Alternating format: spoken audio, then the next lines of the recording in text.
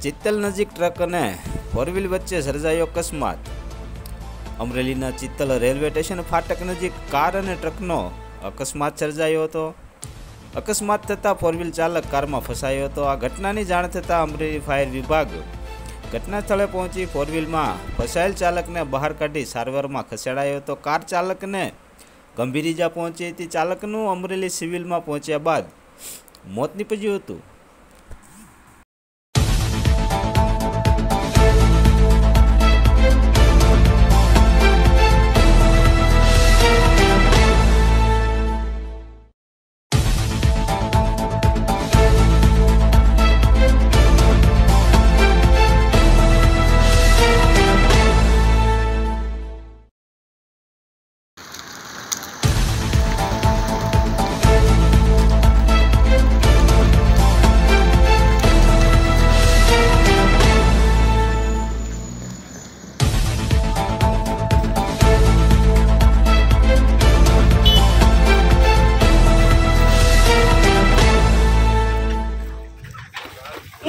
아, 네, 네. 네.